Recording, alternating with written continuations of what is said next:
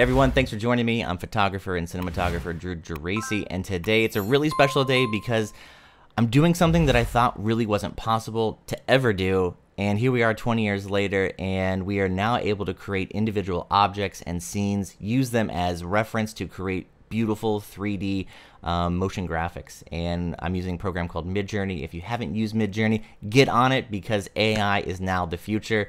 Um, the writing is all over the wall. But this is actually really incredible because we're now able to create full cinematic scenes, and I mean full cinematic scenes, uh, in just a matter of minutes. And this is going to absolutely change the way the industry uh, for post production, uh, for video, photo, everything is done, and it's mind blowing. Um, as you can see here, I'm going to switch really quickly.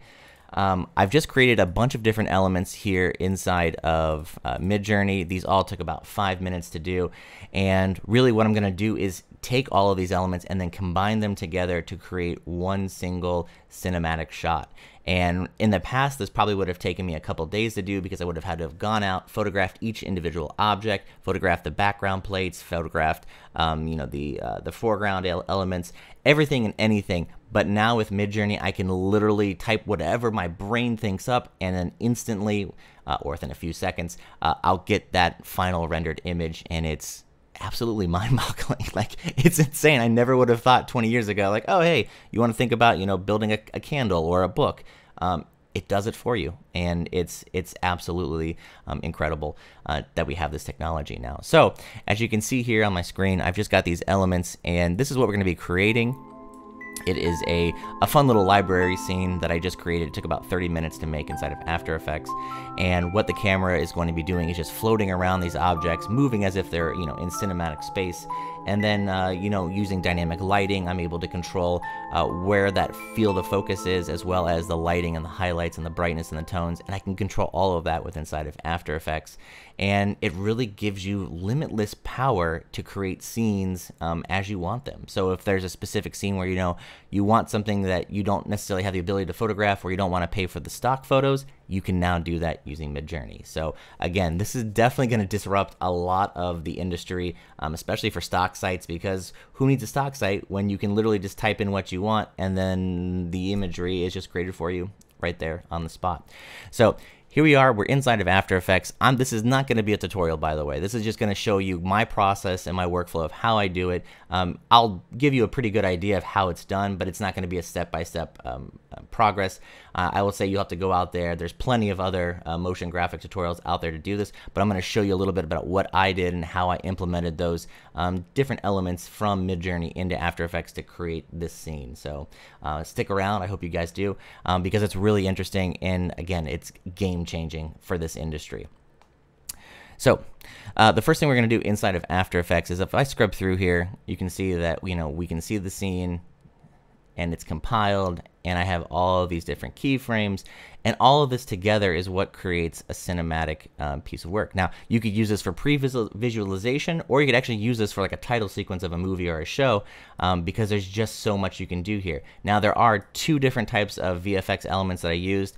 Um, I did go out and film uh, my own little flame using a candle, very easy to do. And then I did have a um, bunch of stock shots of different types of fog and smoke that I actually implemented as well, um, as well as some dust. And that just gives your, your scene uh, or your composition texture and it makes it more believable when you add those types of elements to it. Um, but what I'm going to do is I'm going to break this down and show you each individual element. So if we come here first, these are the each individual elements that I rendered out. I'm going to open these up. So I've got some books here. Oops, there we go. And if we scroll through, then I've got my background plate, which is going to be what the shot ends on. And then I also have these other books and some other foreground elements. Now, I didn't use all of these in my shot, but I did use um, a majority of them.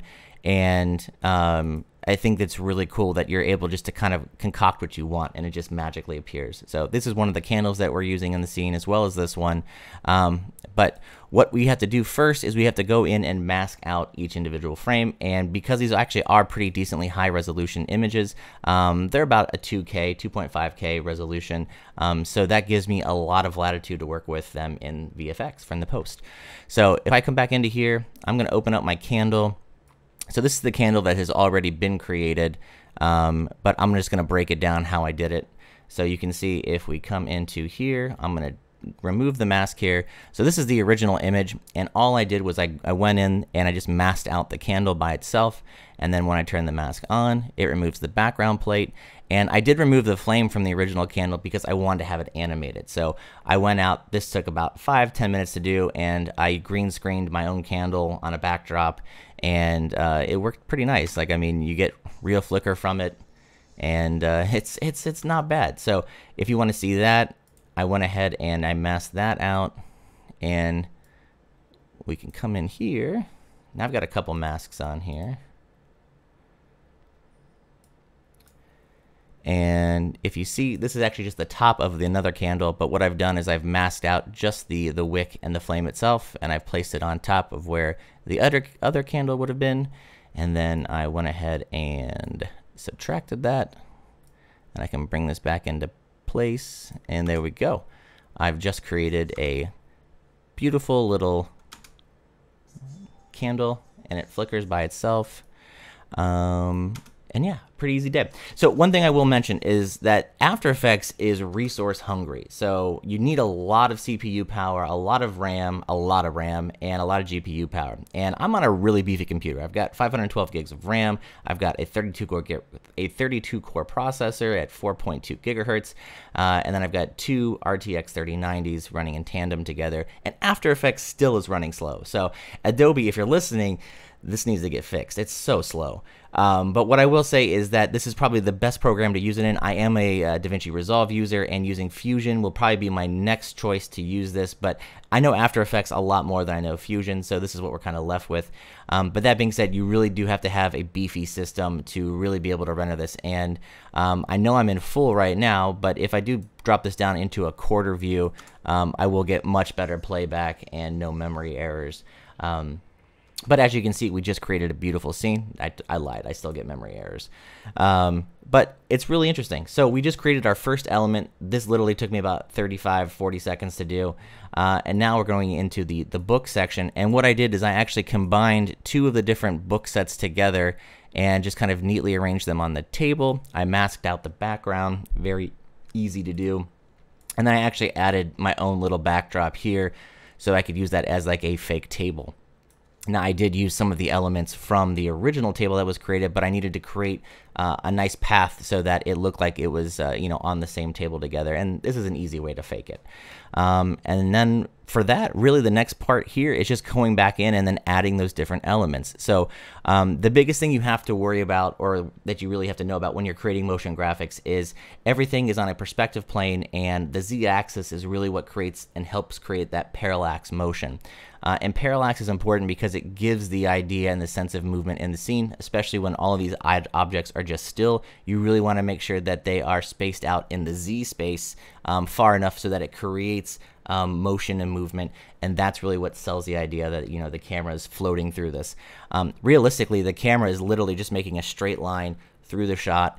And what I am doing here is I'm actually uh, keyframing. So if we come into the candles here, you can see I'm actually keyframing a movement of their position. So what's happening is at the start and then at four seconds in, I'm actually having the candles move to the left as if they're like parting away through like water.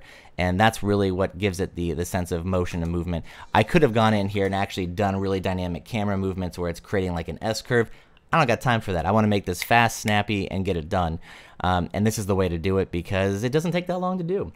Now, what I am um, really excited about is uh, the fact that you know I can add as many different elements as I want, put them on as many different planes as I want, and just create a really dynamic and really diverse scene. And that's really what I've done. So I've just basically placed five different scenes on here. I multiplied the candle three times uh, and placed it in there. So we've got two in the foreground, one in the middle ground, um, and then basically we've got the books as the middle background. And as the camera comes through here, what I'm also doing is I am changing the focal plane on side uh, or sorry, inside of my camera here. Um, so where it says the focal distance, what I'm doing is I'm creating little um, spots of where I know the focus is, or why I know where the subject's going to be, and so I'll change the focus from that subject to the next subject. And basically, as it comes through here, it's going to find, you know, okay, so we're, we're here now. Now this candle right over here is going to be in focus. And then if we come through here, we're going to come out of focus for that. And then the books will come into focus. And then so forth and so forth. As we pass through the books, we change the focus again. So then it becomes, um, you know, the background that is ultimately in focus. And that's what's great about this is that we can now use our creative leverage to create scenes just using still imagery and just using imagery that's created from Midjourney itself. Um, but that's pretty much the gist of it. And basically, what I did after this is I just rendered out the scene. Um, I took it into DaVinci Resolve, color graded it, and this is what the final scene looks like. But again, this took just a matter of maybe 30 minutes total across the board to create, and it's something that I think is truly going to change the industry and really going to up the game for a lot of people, and really allow people that maybe don't have the the creative standpoint to go out and create it with uh, you know regular gear, whether it's photo or video. But now you have that ability to do that. I think it's absolutely wonderful. Um, uh, uh you know, I don't know what to say. I'm actually speechless here just because this is something that I've always wanted to do and I can finally do it here at 38 years old. I can finally go in and say, "Hey, I want to create a mystical castle and I want to have the camera fly through a different part of that castle um, and create the elements for that castle." And you can now do that. Um, so, guys, get out there, have some fun, play around you know, the world is endless now. Um, and I hope you guys enjoyed this video. If you guys did like what you see, please like, subscribe, and as always, happy shooting or happy AI generating, you know? Cheers, guys.